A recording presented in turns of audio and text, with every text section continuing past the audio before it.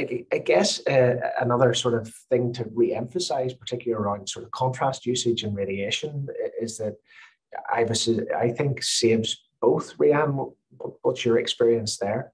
Yeah, coming out of this whole contrast shortage now too, I think people maybe realize that they don't need to take so many angios if they have the ability to use IVUS because you're you're finding your your length of the plaque that you want to treat, you're finding the distal and proximal diameters, um, you're post dilating, and then you're relooking with IVUS to make sure everything looks good, and then you're taking your angio. So you can really minimize it down to maybe your uh, first guider picture and then final guider picture, and you could walk away from a pretty extensive fix with just using what 10 to 15 cc's of contrast with using IVUS appropriately.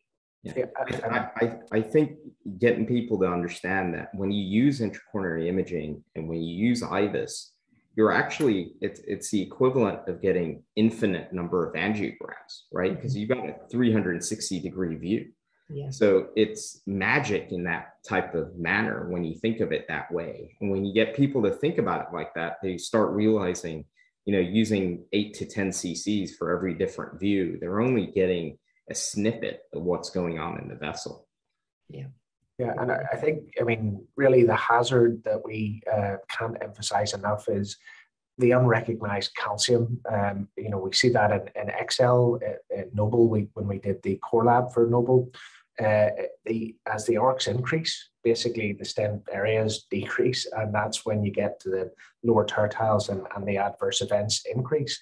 And our ability from angiographic views to, to recognize which bits of calcium are going to be problematic or uh, need treated it's really a huge, huge underrepresentation, and we, we just don't understand from the angiogram alone. So I would really appeal to people to, to really consider carefully what they're doing within the coronary and to adopt very meticulous practice. From a pullback perspective, do you guys do manual or do you prefer to have the, the um, automated, the mechanized pullback?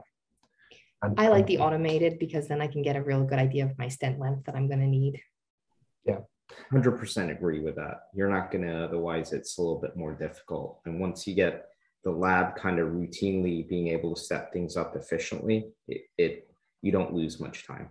I, I, would argue it is a standard of care as well. Uh, and I think you can then increase how meticulous your PCI becomes. You can actually avoid stent overlap at large branches. You can make smarter decisions and you know there's there's a whole series of things that, that can be much better informed and it doesn't take that much longer. It just gives you better information. So if you're doing it why you know why why would you sort of leave stuff on the table? It doesn't it doesn't make an awful, an awful lot of sense to me